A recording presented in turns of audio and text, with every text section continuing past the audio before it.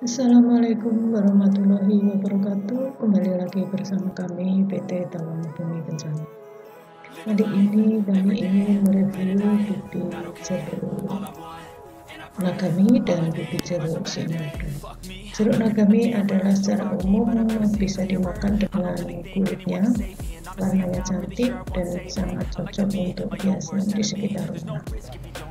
Sedangkan untuk skala perkebunan kami eh, merekomendasikan untuk jeruk yang hasilnya memang bisa dinikmati secara umum oleh masyarakat. Ini adalah jeruk siamadu.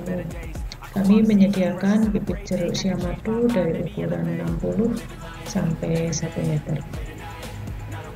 Bagi petani yang berminat untuk menanam bibit jeruk dan bibit buah lainnya, silakan menghubungi nomor WA yang ada dalam video ini.